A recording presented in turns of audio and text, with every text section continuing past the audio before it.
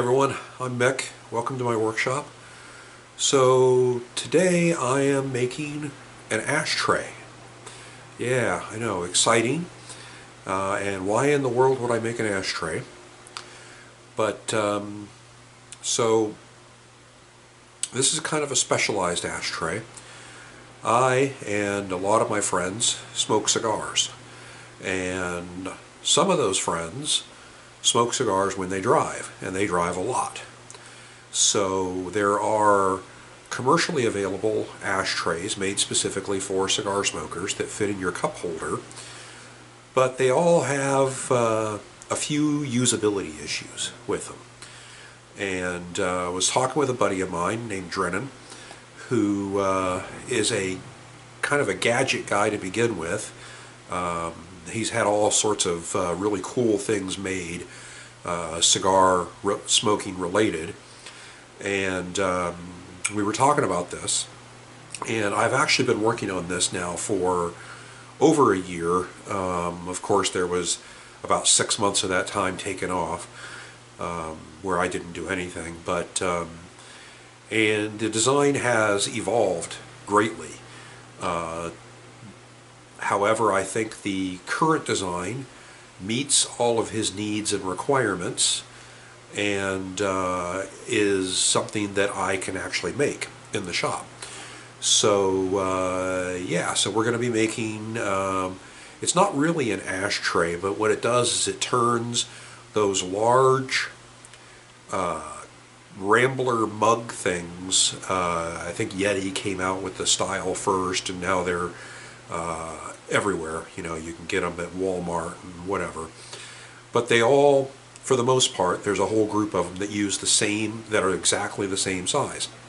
And so the idea is, is to machine a top for it that fits into the top of the, the, the mug and turns it into a very large ashtray uh, with some features to hold your cigar and a lid to keep it closed when you're not it not using it, um, and uh, a place to help get the ash off of your cigars and things like that. So um, I bought some uh, aluminum 4-inch round stock uh, that I'm using, and um, let's get started.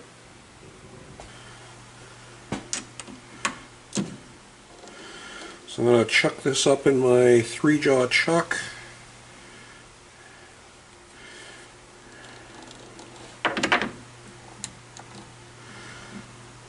I had to use this set of jaws because the uh, other ones wouldn't uh, open wide enough.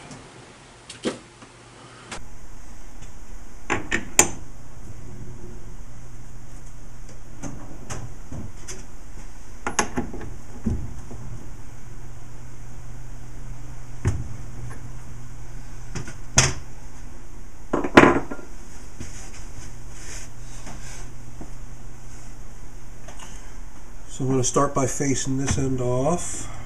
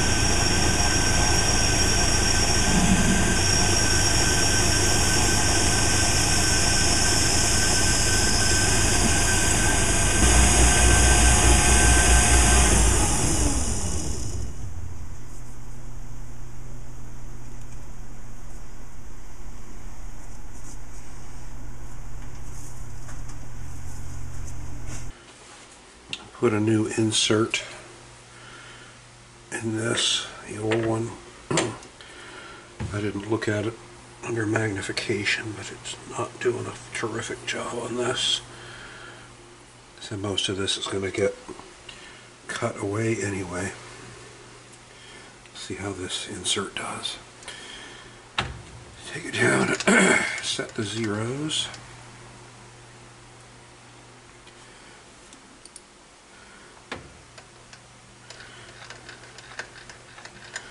Even swapping that insert out for a completely different brand didn't really change much. It was pretty much the DRO was was on. This one's a little off. Alright, so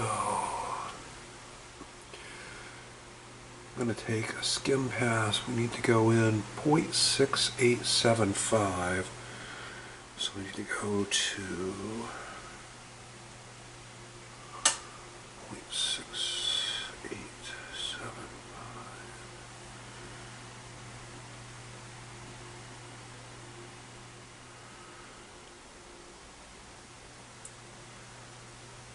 Call it right there. Get a sanity check with my calipers.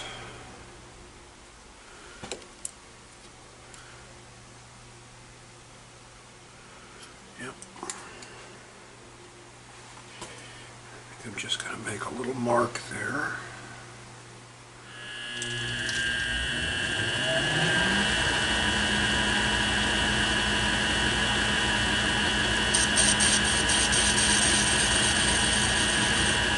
Turn down there.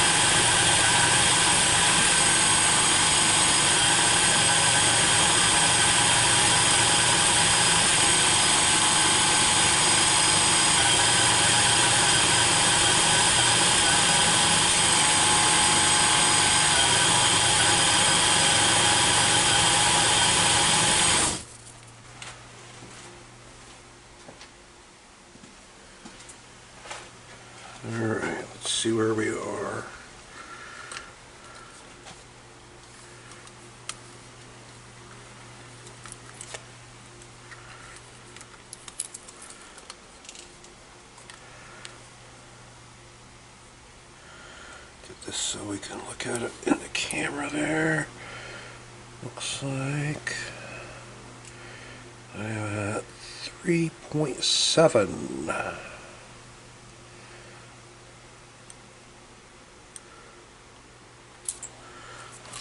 I gotta take off another 0.1 on the diameter. So take off point, I take a couple light cuts and measure it again. I'm gonna go in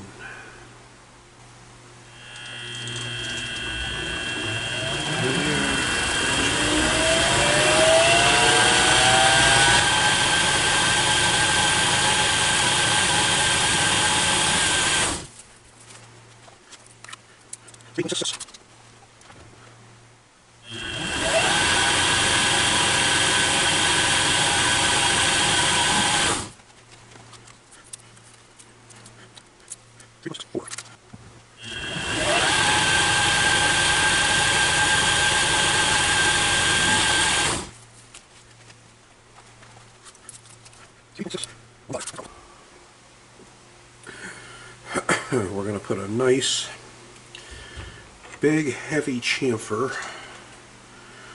on this edge and light one on this edge.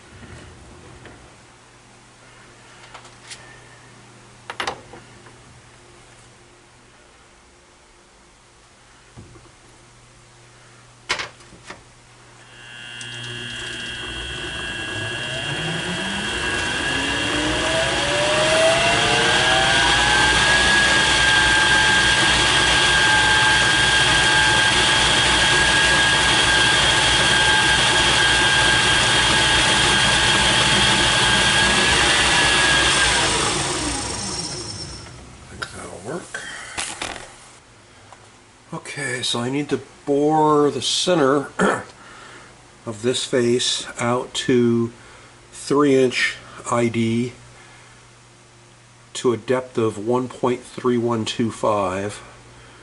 So I'm going to start by uh, spot drilling. Oops. That's one way to get my point across.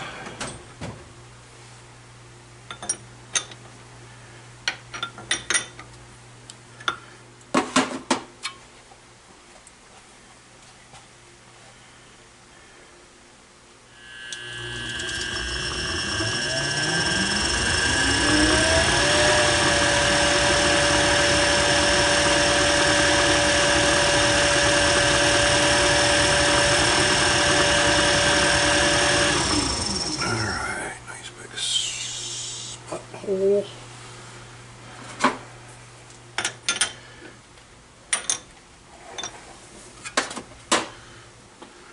Alright, now we want to be careful we don't go in more than 1.3125.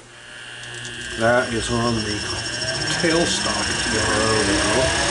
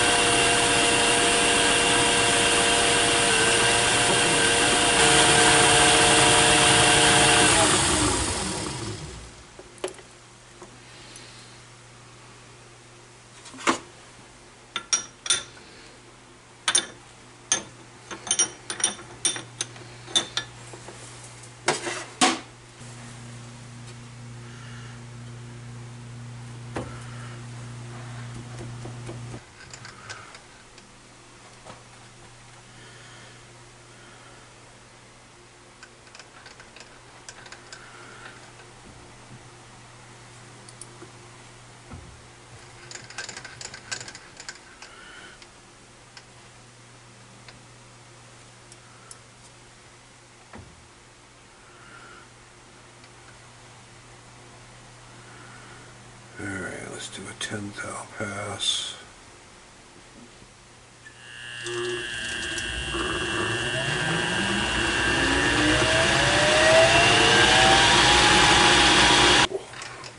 Oops.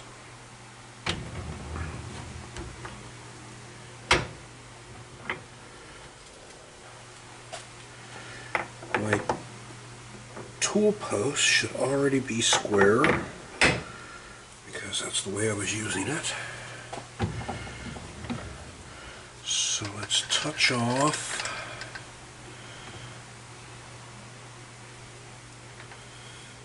Here.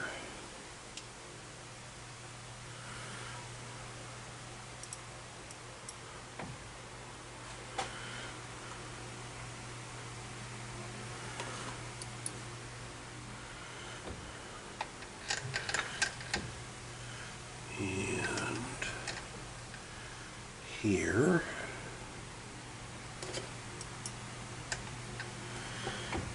Now, I go in 0.12.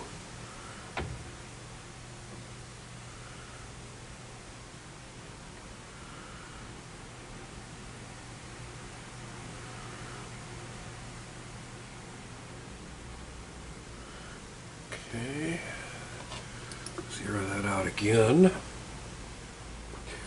Now I'm going to go in 0.2, and that's where the O-ring starts. Gasket, whatever you want to call it. And that looks about right. I need to go in 0.0815. Okay,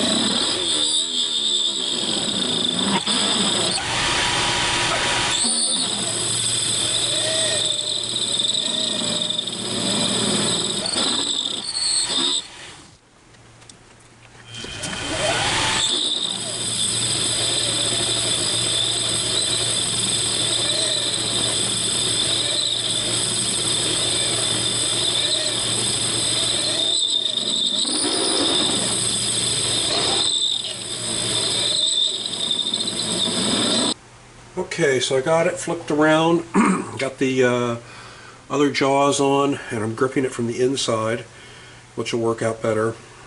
And now I need to face off this this side, get a measurement on it because I need to turn turn this diameter down. This diameter I want to leave as large as possible. I just want to clean it up. So I'll just take skim passes until I get all the way, uh, get all this stuff off and leave a nice finish. So let's start with that. Start by zeroing out.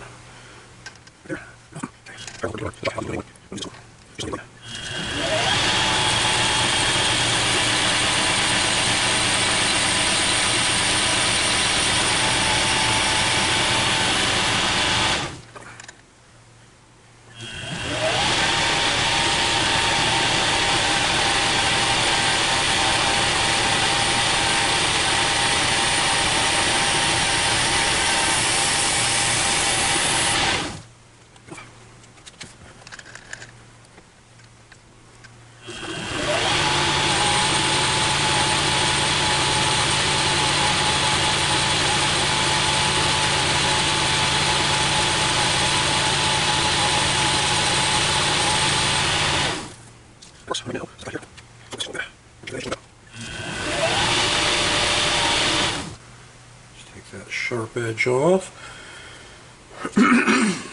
now, so this face is going to get parted off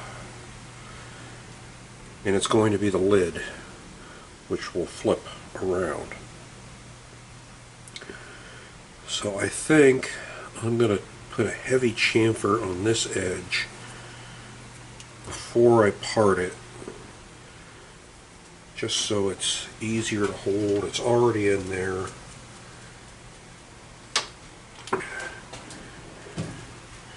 That should still leave me enough material to grip to finish the other side off, so let's go for it.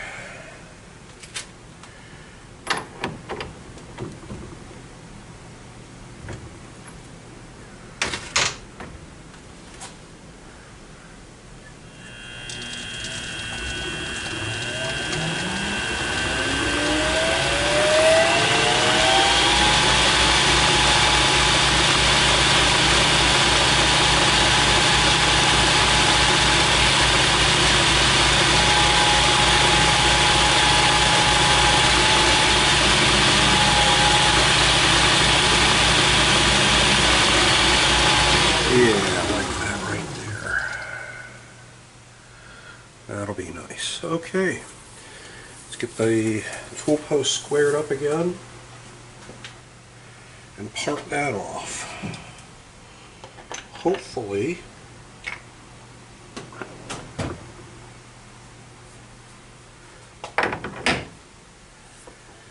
when I bored out the inside of this I went far enough that I don't have to part all the way through this thing. That was the goal.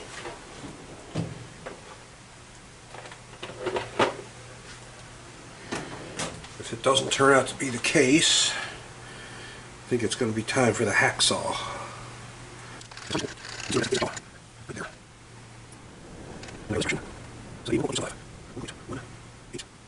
Success!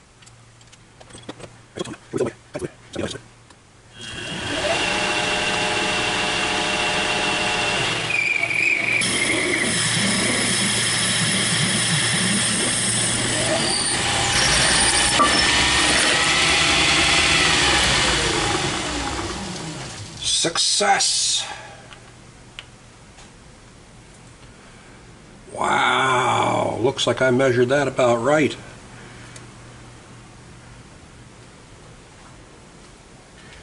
Even a blind squirrel finds a nut every once in a while. Alright, now I've got a little bit more boring to do on this to uh, go in here and create a uh, little shelf, I guess, if you will, inside there. And then we'll work on the lid. Now I've got to machine a V-groove. This is the lid for the ashtray. It'll pivot. Um, and I need to mill a V-groove across the center here that'll be a place to rest your cigar. Um, so I'm going to try setting this up on my fixture plate. Um, I did a video in a, a, previous video on making this uh, bar so I can clamp it in my vise. So I've got that set up and what I'm thinking I'm going to do is use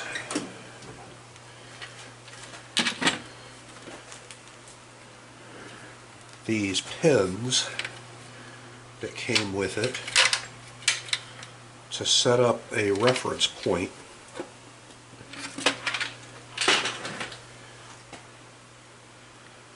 Something like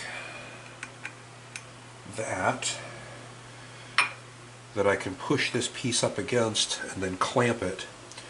And these two pins then I can use the uh, edge finder on these and locate the center because that'll always go to the center and then I can just mill a V straight across there. I've got a, uh, a V groove end mill. Half inch, two flute, 90 degrees, carbide. Carbide? Cobalt.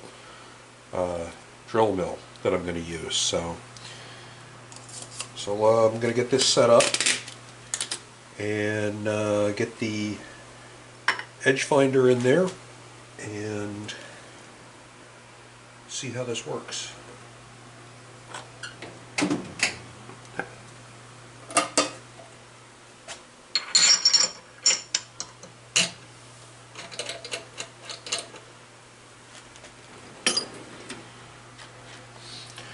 Once again, I don't uh, I know I mentioned it in a previous video, but I don't know if I uh, if that part got edited out or not. But um, this, uh, what do they call it again? Collet adapter uh, is great. It uh, gives you mul multiple different sizes, so you don't have to keep changing your collet or your yeah your collet to fit the uh, the edge finder. Um, it's made by Starrett, very high quality and uh, very, very good purchase for a very inexpensive tool.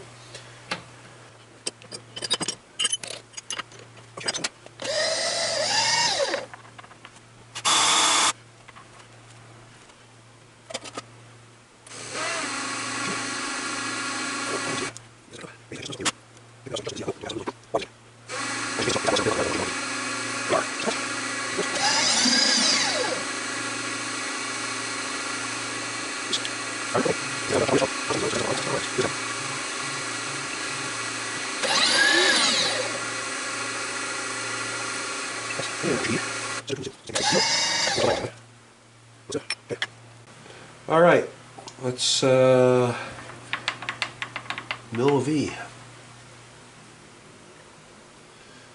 gonna take this down. Just gonna do a pass. It's a little chilly out here still today. Okay, let's just do 10 thou and do a scratch across there. I think we'll be okay.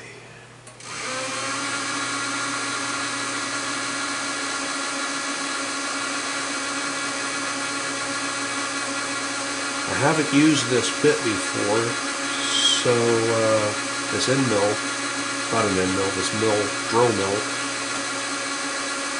Alright, the tip looks good. I was say it didn't look like it was running concentric, but uh, just an optical illusion, I guess.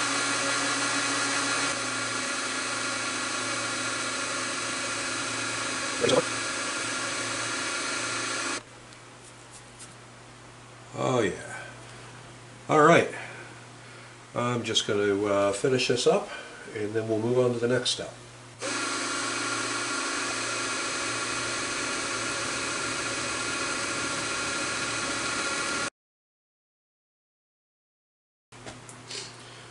The next thing I need to do to these parts is to drill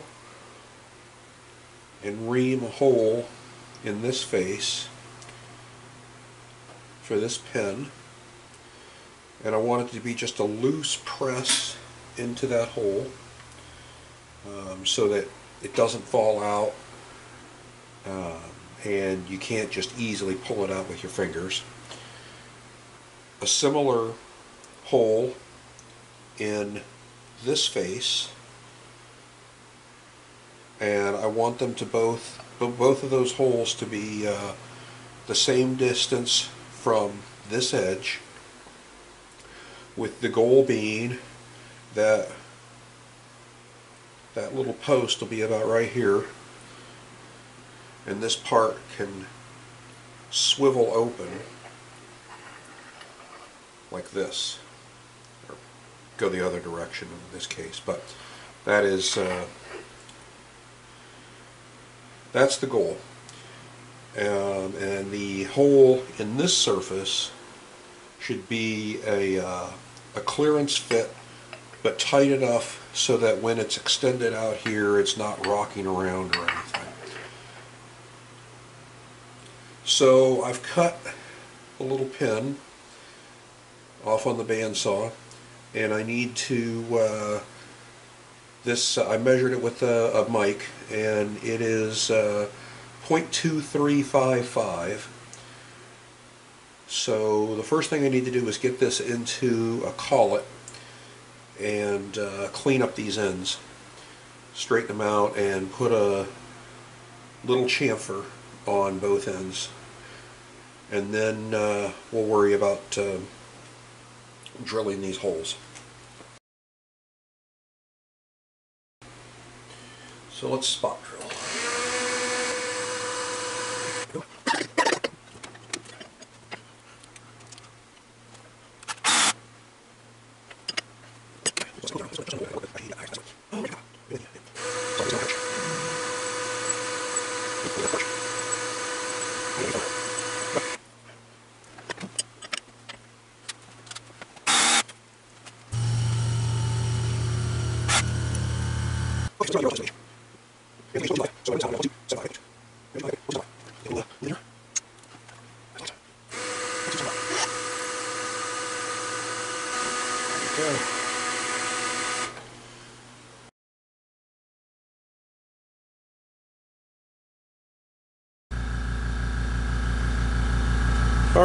So my little project is done. So, got this in your car. This swivels open. Rest your cigar up here. Little edge right here you can use to help knock the ash off of. When you're done, close it up and helps eliminate the ashes and the stink getting everywhere. So, thanks for watching. And if you enjoyed my video, please subscribe. And I'll see y'all later. Take care.